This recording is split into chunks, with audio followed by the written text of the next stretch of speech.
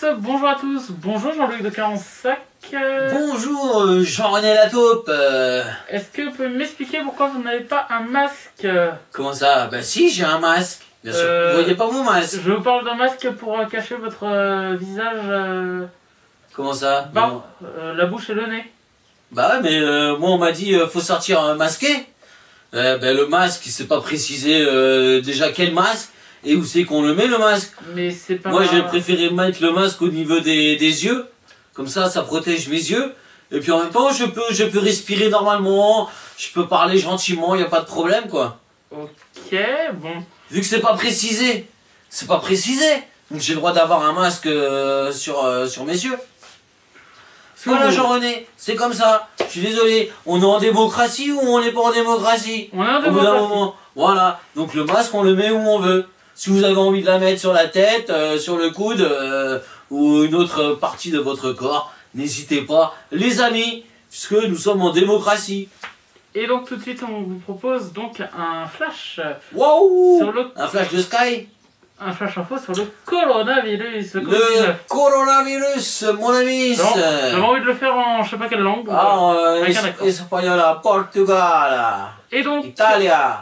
Et donc on va vous parler aujourd'hui du fameux euh, vaccin contre le Covid-19. Tout à fait, les amis. Alors, d'où euh, vient ce vaccin? De, de quoi est-il composé? Et surtout, y a-t-il une nanopuce à l'intérieur, Jamie? Et donc, et donc euh, on a rencontré la fille cachée de, euh, du professeur Raoul qui s'appelle Priscilla. Oh, Raoul. pas que c'est pas vrai. C'est tout de suite. La fille cachée euh, du docteur Raoul, Et oui, du professeur Et elle a- lui-même. et elle a des choses à nous dire. Regardez cette vidéo, c'est une exclusivité. Pff, Alors là, faut que je regarde. Manek TV. Oh, ça va être intéressant, les amis.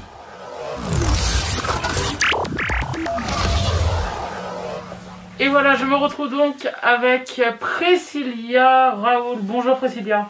Bonjour, amis. Bonjour, René. Alors, vous êtes donc la fille cachée de, du professeur Raoul. Euh, Raoul Est-ce que vous pouvez nous dire pourquoi vous êtes la fille cachée et comment vous l'avez su? Oh, ben, je l'ai toujours su, parce que je suis né euh, masqué. J'avais mon masque, dès la naissance. Et on m'a dit, euh, ton papa, ton papa, il tue les virus. Et alors, on l'a pris euh, professeur virus. Alors, euh, moi, on m'a dit, euh, à l'école, il faut que tu te caches, le virus. Alors, j'étais comme ça, j'étais caché, j'étais caché. Est-ce que vous comprenez le combat que fait votre père contre le coronavirus? Ouais, mon papa, il fait la bagarre. Dès qu'il voit un virus, mon papa, il tape dessus. Il m'a toujours dit, euh, si tu vois un virus euh, qui te suit dans la rue et, et qui te parle en russe, euh, surtout, euh, t'hésites pas, hein, low kick, high kick, front kick, et puis euh, tu mets ton masque. Et, euh, et, euh, j'ai ma dose de chloroquine. Et qu'est-ce que vous voilà, qu'est-ce que vous pensez du médicament qu'il aurait dit découvrir et qui serait le médicament pour sauver le virus? La chloroquine euh, Moi, ça fait des années que j'en prends de la chloroquine. Euh, c'est ma super vitamine. Ça rend fou alors. Ah non, la chloroquine, même j'en prends un chewing-gum, parce que mon papa, il a fait des, il est trop fort, il a fait des chewing-gums à la chloroquine. Et même quand j'étais petite, il m'avait fait des suppositoires à la chloroquine. Et d'ailleurs, j'ai toujours euh, une boîte si vous voulez.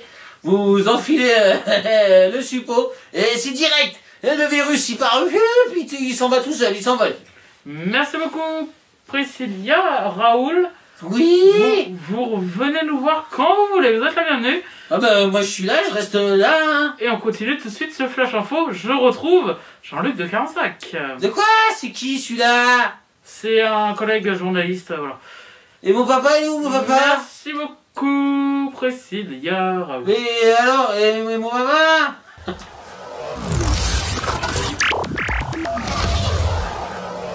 Voilà donc c'était exclusif. Hein. Wow. Exclu. Franchement, Et oui. extraordinaire.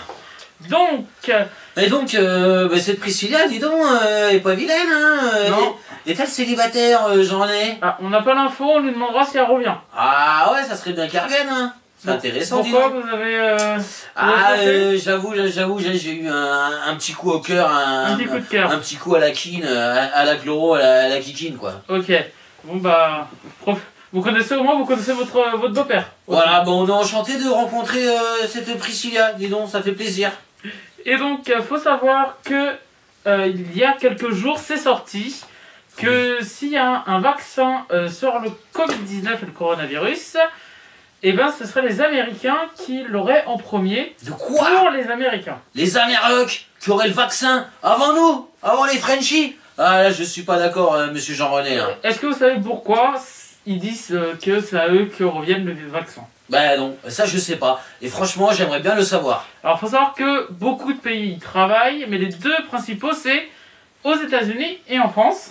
Mais dites-moi pas que c'est pas possible. Et il se dit Mais il se dit, euh, c'est qui il déjà que c'est alors, c'est les Mac- de, Macron, Donald Trump, excusez-moi, qui Ah, aurait donc les États-Unis qui auraient donné le plus d'argent pour la recherche pour le vaccin. serait-ce une histoire d'argent Et oui, bah, toujours. hein. Ouais, mais euh, attendez, attendez, ça va pas du tout là, monsieur Jean-René. Parce que le laboratoire euh, d'où vient le virus, il est français.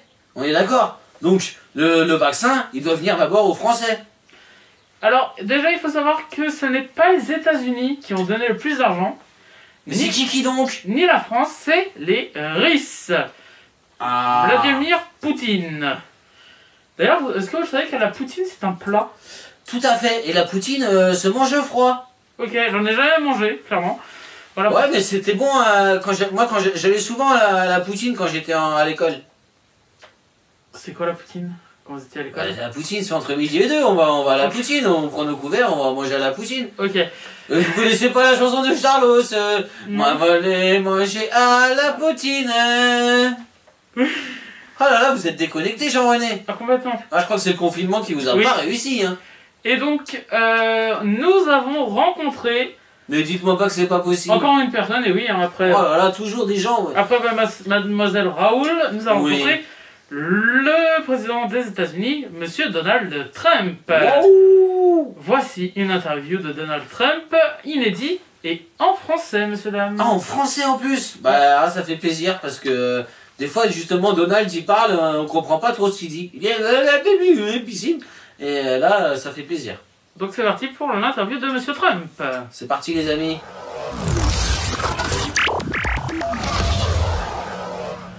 Euh, bonjour monsieur Trump. Yeah, bonjour, euh, Jean-René. Hello, les Frenchies. Merci de nous accorder cette interview. Yeah. Eh, on vous nique. Euh, Qu'est-ce que vous pensez du coronavirus? C'est de la couillonnade, les amis. C'est de la mother bullshit, de la connerie. Ça, c'est la putain de chauve-souris. Crois-moi, si je chope la chauve-souris, je prends mon gun, Jean-René, et je la goum goum. Est-ce que vous... euh, alors combien vous avez donné euh, d'euros pour le vaccin et la recherche pour le vaccin? J'ai pas donné d'euros, j'ai donné des dollars. Et J'ai combien donné 200 milliards de dollars. Alors que c'est à moi, c'est à Bibi le, le, le vaccin du le virus. Alors, les, la Russe, on a donné beaucoup plus. Est-ce que ça ne Ouais. devrait pas leur revenir à eux? Oh, les Russes Eh, Poutine T'as fumé de la mousseline Ici, c'est les Carrés Eh, viens pas chipoter le vaccin, sinon je te bim bim bim bim, ok? Vas-y, Vladimir, on remonte sur ton ours, va manger des, des pangolins. Vous avez déclaré euh, lors d'un lors d'un discours que le, coronavirus c'était une imagination des médias. Est-ce que vous pouvez nous en dire plus, s'il vous plaît? Ouais, je crois les médias, ils ont, fumé. Ils ont, fumé du poisson, du saumon, du saumon fumé, les gars, ils ont. Parce que là, c'est n'importe quoi. Ça, c'est de la couillonavirus. Je vous l'ai dit, les amis. Déjà, quand on m'a dit, il y avait le virus, j'ai dit, ça, c'est un truc Russes. Après, les Russes, ils m'ont dit, non, c'est les Chinois. Ils ont bouffé de la chauve-souris, du pangolin, là, du Masterflex. Donc moi, j'ai dit, ça, c'est de la couillonnade. Ça, c'est de la connerie, les amis. Le virus, il tue personne. C'est pas plus que la grippe. Ah, vas-y, moi, je tousse. Et je tousse pas dans mon coude. Euh, Je vous serre la main, Jean-René. Non merci. On va garder Allez-y, c'est du bon. gestes barrières. Y a pas de barrière, y a que des frontières. Merci, monsieur Donald Trump. Merci d'avoir fait le déplacement jusqu'à nous. Et on continue tout de suite ce flash info avec Jean-Luc de Carensac. Est-ce que vous connaissez Jean-Luc de Carensac? Ouais, je le connais, hein, ce motherfucking French. Ouais, d'ailleurs, bang bang bang. Et- 45. Et petite question, est-ce que Mark Smith va bien? Ouais, Mark Smith, je l'ai kidnappé dans ma salle de cinéma personnelle. Comme ça, il me regarde les bandes annonces des films avant que je les regarde. Comme ça, je gagne du temps. Merci beaucoup, monsieur Donald Trump. Ouais, parce que j'aime pas les films français, euh, c'est de la merde. La suite de- du flash info, c'est maintenant.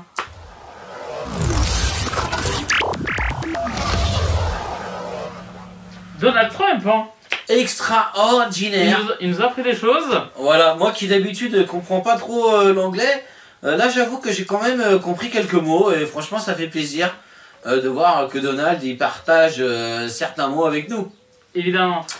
Et on a également appris donc sur ce vaccin, Oui. comme on est sur ce flash info du vaccin, que dans le vaccin il y aurait une puce. Est-ce que vous savez comment et pourquoi il y ah. aura une puce? La fameuse puce les amis, Euh, oui, cette puce RFID ID, donc bah, c'est une puce qui permettrait de faire un paiement non seulement sans contact, mais qui surtout permettrait de savoir qui qui l'est infecté et qui qui l'est pas. C'est comme si vous aviez une carte vitale directement intégrée euh, sous la peau. Bonne santé, euh, gloire et amitié. Donc une pouce, une puce. une puce qui pousse, mais une puce qui ne gratte point. Mon ami Jean-René. Donc cette puce, elle ne gratte pas, mais elle coûte un bras quand même. Donc cette puce, elle sera insérée ben, dans le vaccin.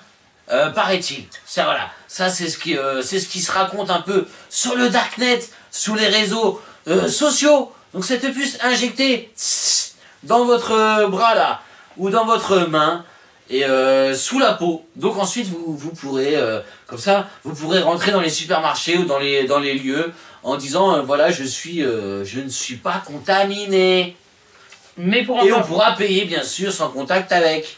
et pour en savoir un petit peu plus comment sera fait tout ça, Bah oui parce qu'on n'en sait pas trop en fait. on a rencontré le professeur Maximus qui nous dit tout sur, la, euh, sur le virus et surtout sur la puce. Ah bah oui la puce. D'ailleurs est-ce qu'elle gratte? Est-ce qu'elle rate la puce? C'est- C'est une question qu'on a la réponse euh, tout de suite là maintenant. Waouh extraordinaire les amis.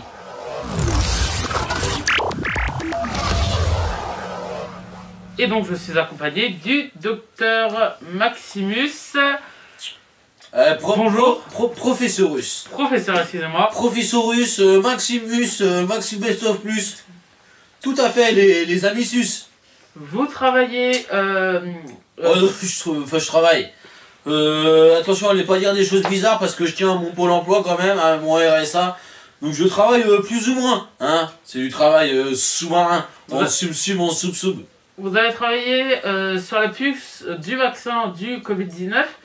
La puce du virus. Est-ce que vous pouvez nous en dire un tout petit peu plus? Alors je peux vous en dire un peu plus qu'un peu moins sus. Euh, ce qui est paru, ce qui est paru sus dans les infus, c'est que cette puce, cette micro-puce, cette, je dirais même cette nano-puce, va être injectus dans le brassus de l'individus. Et cette puce pourra, grâce à cette puce, on pourra vous flicus. Et en français ça veut dire? Parce us. Parce que, parce que, ce qu'on vous dit pas, c'est que Macronus, euh, Suprus, premier russe, là, il, il veut, il, il veut, il veut tous euh, suspectus, tous les individus qui se baladus dans la Venus. Donc, c'est pour ça qu'ils vont injectus cette micro-puce. Et on sera, on sera pistus, partout où nous allons sus. Donc si tu, si tu vas sus dans la forus, tu vas te faire pistus. À cause de cette puce. Est-ce- et quand à peu près vous pensez que le vaccin pourra euh, être en vente ou en tout cas on pourra l'avoir? Alors au, au niveau du vaccinus, il est, il est paru ça, hein, qui va, qui va paressus dans les pharmacius, dans les supermarchés, dans, dans les supermarchés plus. Dans les Max Plus. dans les Nomsus et les Maxipus, dans les Carrefoursus et les, et Les les, les Frampliflus. Bon, bref, vous l'avez compris, sus. Dans toutes les grandes surfaces, vous pourrez trouver ce vaccinus hein, à base de, de, de cactus. Euh, merci, For- beaucoup. Forcimus. Merci beaucoup, Maxi- Maximus. Ma- Maxiplus. Et si vous avez compris ce qu'il vient de dire, vous pouvez les mettre dans les commentaires russes. Et on continue ce flash infous sur Malek. À Par contre, je comprends pas le russe. Voilà, à tout de suite.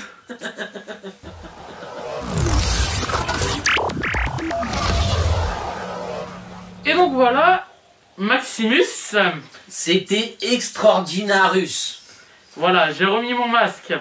Voilà. Ma- Mascus. Ton mascus, voilà, tout à fait. Non, mais c'était très intéressant. Très euh, intéressant, ce que nous a dit euh, ce professeur. Grâce à lui, donc, on a compris que cette puce euh, serait injectée sous la peau, quoi, en fait. Voilà, Et donc, vous ça, aviez dit. hein. voilà, en fait, ça, ça résume un peu ce que j'avais dit, ce que, enfin, ce que j'avais dit. Moi, c'est ce que j'ai lu, hein, euh, forcément, hein, je ne suis pas professeur. Hein, euh, voilà, les amis. Moi, je dis, euh, voilà ce que je lis.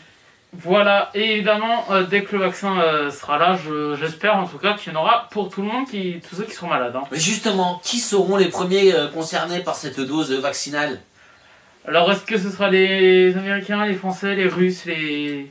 Moi, je, je pense que ça sera d'abord, on, on commencera par les plus pauvres d'entre nous. Ce serait bien.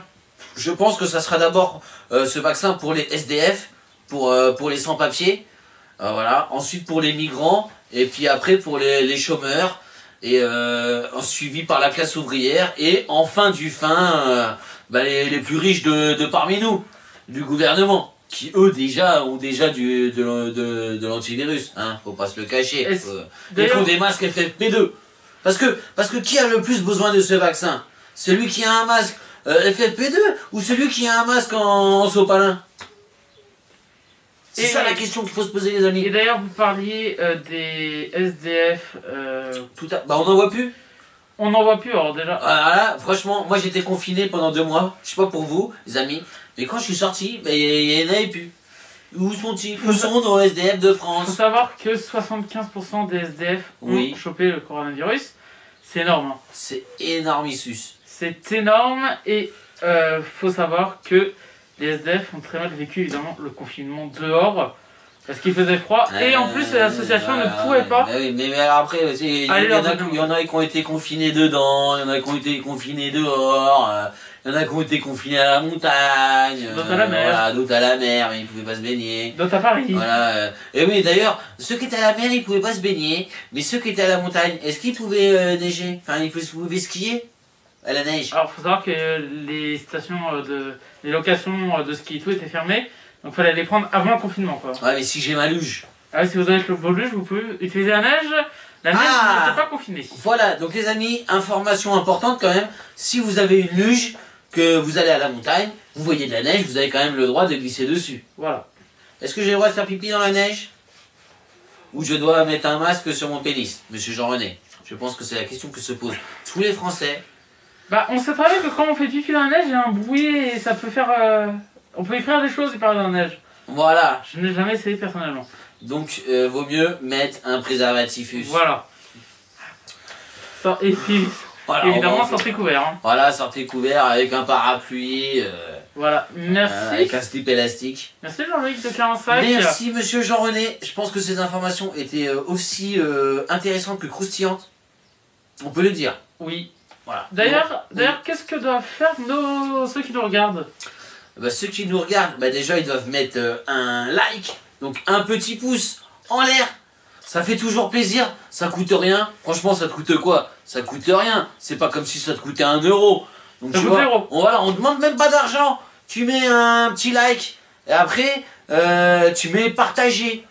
Et puis après tu, tu partages à qui tu veux, tu vois, tu le mets sur Facebook, sur Twitter, Instagram, Snapchat. voilà, euh, Snapchat, euh, fais ce que euh, adopteunmec.com, euh, ce que tu veux sur Mythique, sur Badou. Si, si tu as, si, Si. tu as un date, tu peux l'envoyer la photo. La. Voilà, si tu connais, si, tu- si tu connais une, une- une meuf intéressante dans la région, tu, tu lui envoies la vidéo. Je pense que ça lui fera plaisir. Ça, leur fera- ça la fera rire. Voilà, ça la fera rigoler. Et on a dit Femme qui rit à moitié dans son lit. Voilà. Voilà, et puis si t'es confiné, ben, c'est encore plus pratique. euh, voilà.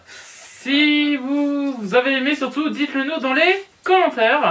Ouais, voilà, le but c'est de lâcher un commentaire. Et franchement, même si t'as pas aimé, parce que même si t'aimes pas, mets un commentaire, dis-nous pourquoi.